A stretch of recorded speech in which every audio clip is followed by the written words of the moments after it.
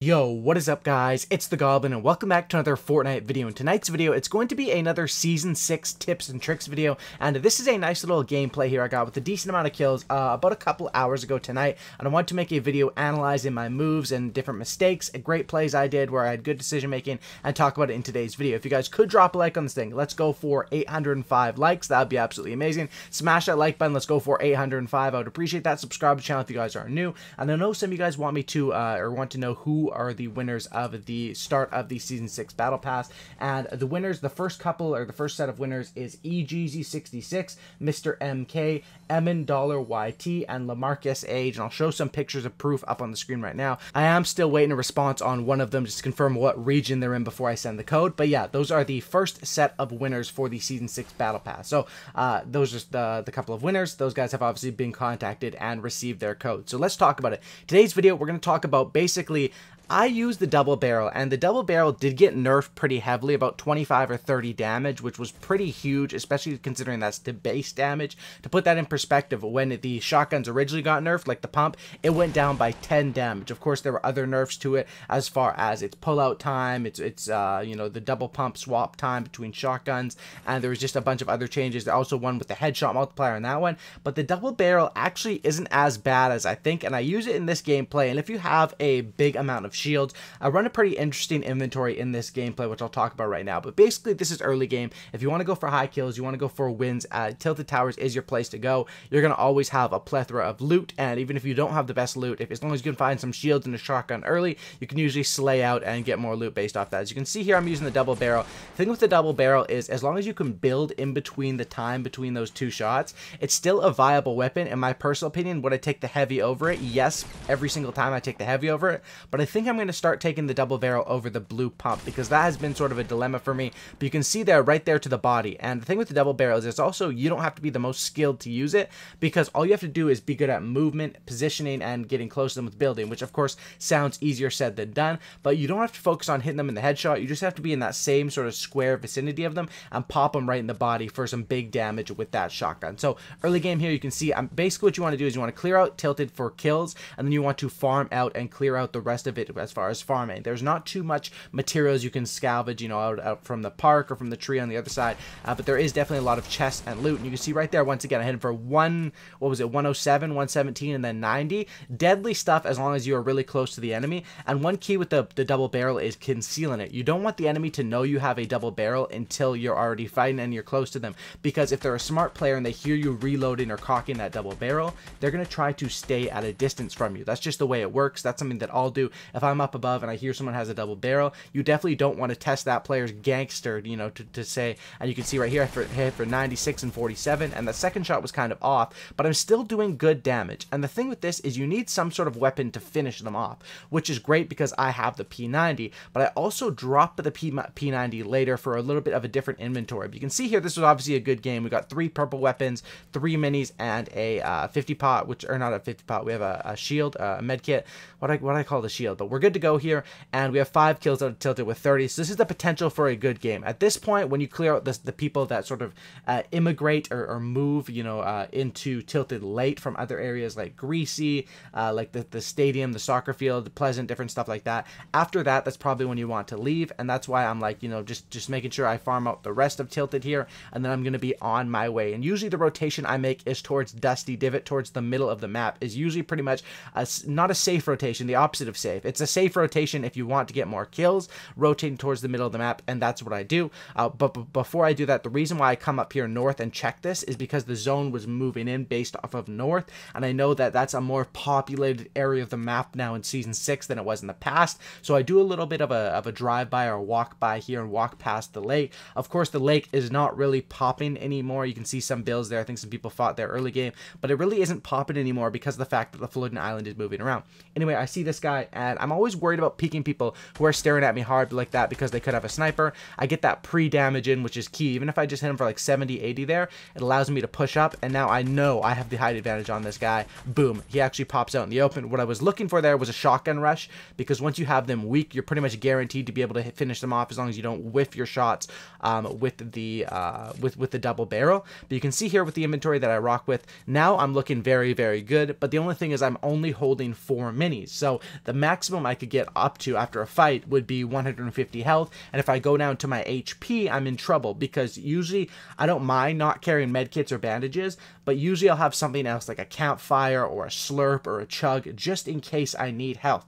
At this inventory, I'm risking it and hoping that if they do big damage to me, that they have some sort of shields or health. I see this next player up here, and you can see here my rotation was correct, moving towards the middle of the map and also moving towards the north where the zone was cutting off was a very smart play. I'm able to pull up on this guy, get some pre-damage in as well, but I end up just holding down the trigger and taking him out, which isn't too hard with the gold scar. Still probably the best gun in the game. A lot of people ask me silenced versus unsilenced. I like the silenced one better, but the gold scar is deadly. So you can see here, this is where I go a little bit rogue with it. This is more like a season six inventory because let's be honest, SMGs have been nerfed. They're still great. P90 is great. SMG is great. I'm still going to use them in the majority of games, but it's not the same as when it was the original P90 or when we had the drum gun. So what I choose choose to go with here is um, basically using the Scar as my finishing weapon off the double barrel. So the double barrel and then switching to the Scar, which isn't that bad. Of course, you don't have the fire rate or anything like that of the P the P90 or the other SMGs. But if you hit people, this Scar will do like 72 damage to the head, like 36 to the body, or 35 to the body, something like that. You're doing big damage, and you can use that as a finishing weapon, just like you see right here. Right here, this guy rushing me. Now, I'm in trouble here because what I want to do is create space so that I can reload my double barrel. Obviously, the element of surprise is gone here. I have no choice to but uh, you know, to conceal the double barrel. I try to ramp back up. He ends up hitting me in the back, which will happen. When you go for the ramp, you are exposed a tiny bit. Luckily, I don't take too much damage. He goes for the ramp up, and I choose to just shoot him down because I realize he's not connected. He falls down, and this is where I go for the surprising attack. When he's probably looking to heal, boom, pull up on him, and two double barrels again. As you can see, the base damage was nerfed, but this thing is still deadly, especially if you can combine it with a grappler combo. Anyway, I'm able to find his loot, and um, once again, I'm sticking with this inventory, and I'm sticking with an inventory that is kind of interesting. You know, I have my very close range weapon, I have my medium and longer range weapons with the AR and the noob tube. So right here, what I'm trying to do is I have zone advantage, as you would, as I would call it. You know, I'm not sure if that's a the, the term that goes around in Fortnite, but that's what I've called it, and it probably is. Zone advantage is basically the zone is moving, and I'm closer to the next zone than him, so he has no choice unless he has a Porter rift or something like that. He has to run right through me, so that's why I'm putting the pressure on. I realized this guy was a decent player, that's why I was putting the pressure on with these grenade launchers. Plus, I was also hoping at the fact that once I got this kill, if I used too many of the grenade launchers, I could switch back to that inventory. You know, I can basically switch to whatever fits my needs at that point. I can go with either the grenade launcher, or this guy would probably have some sort of finishing weapon weapon, you know, it's SMG, or potentially a grapple gun or sniper or something else that could fit in that third slot, so or that fifth slot. So right here, I'm waiting on this guy. Eventually, he decides to make his move. Well, he doesn't really decide. The storm decides for him, and I'm pulling up on him, and I hit him right there. You see the 100 damage with the grenade launcher, and after that happens, you are in control of the fight. That's all you're looking for with the grenade launcher mainly, and the fact is that I think that the grenade launcher and the RPGs are still so strong in this game because more people can build than ever nowadays, and that's something that's just straight up a direct counter. You know, uh, in your last slot, you like to have a direct counter to building, which you can either have a, a grenade launcher, or which I like call a noob tube from Call of Duty, an RPG, or like a grapple gun is pretty much a counter to building as well, um, or even a porta porta fortress, something like that. So you can see there, I do swap out the double barrel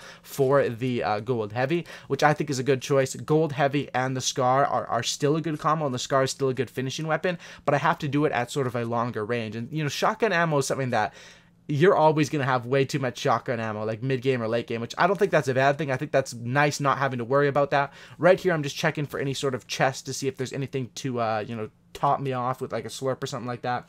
Anyway, I'm able to see this guy up on the hill, and the reason why I'm so confident here is if you guys can see, is the amount of launch pads or jump pads, whatever you want to call them, as I have. Uh, you know, saving those for late game can be a very, very key, but when you have a lot of them, you might as well go have a party with them. It was kind of like bounce pads. They give you an extreme advantage towards the late game, and of course, bounce pads aren't, you know, in the game anymore. Um, but basically, I was being shot in the back there, so I cover my back. This guy shoots me down, and I ramp right back up on top of him. Right there, something that's, you know, if I was just a bit quicker placing down my ramps, I could negate a lot of damage, but I hit him for 173 to the head, which is basically a straight up one punch knockout, you know, unless you have 200 health, which he did, but that just means I just hit him for one more bullet with the scar, and that right there, that clip right there, shows why. Even though I'm making some nice double barrel plays, and I'm even confident enough with the double barrel to use it without a grappler and without a, a finishing weapon, the, the, the heavy is just the king of the shotgun realm, and you're good to go with that. So right here, I realize some of his loot drops, so I'm going to drop down and grab it. Once again, there is another jump pad that, that is found right there. Um, and of course, I am looking as good as possible on material. So I'm sticking with my inventory right now because I have basically a lot of different shields. Noob tube for, for long range, and then once again, the Scar. If it comes down to spraying with the Scar, I'm confident enough to, I know it's not ideal, but it will work. And I think this is an inventory that you'll see people running a lot more in Season 6. Unless they have like a P90, you know, if you only have like a common SMG, an inventory like this is probably a lot better, and it is more tactical. You have to play a lot smarter, and you have to rely on building a little bit more, because the SMG was like your, one of your, it was sort of an anti-building thing, not as much as a grenade launcher, but you could sort of stray, uh, spray through people's builds. So I realize there's still five left, or four enemies, if you want to call it that. So I'm like, you know what, I have like nine traps. Let's set up some traps down here, and I get surprised completely. There's just a guy there. I didn't even realize till, because I was just so focused on the trap. Anyway, this guy was obviously not the best player. He, he was hiding, hit him for 111 with the shotgun, and from there it was pretty easy. Of course, I missed the shotgun shot, but boom. You can see right there, the scar does work out. Now, right here, because this is only four players left, I decide to make the change and go with the P90 because I don't need double heals. When, when you're in the top situation, usually you just want to carry like either three big pots or 10 mini, something like that is perfect, and just hope you don't go down to HP because if you do, they're probably not, not going to give you time to heal anyway, and that's sort of the mentality behind a you know, something like this uh, in the game. So right here, I'm exchanging a grenade launcher fight with this guy. He's using RPGs.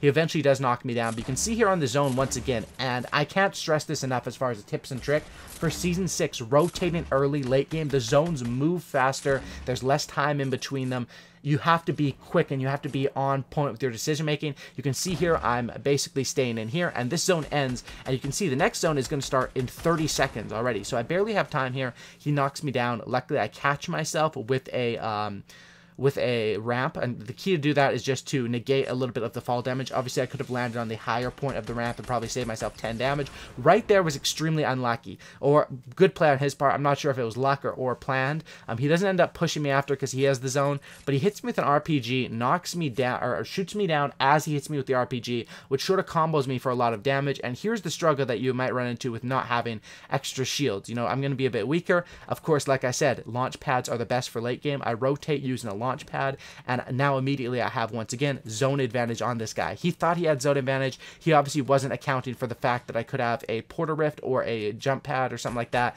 So that's what I do. I'm able to, once again, put the pressure on him with this grenade launcher, which ends up working quite well, basically countering his building.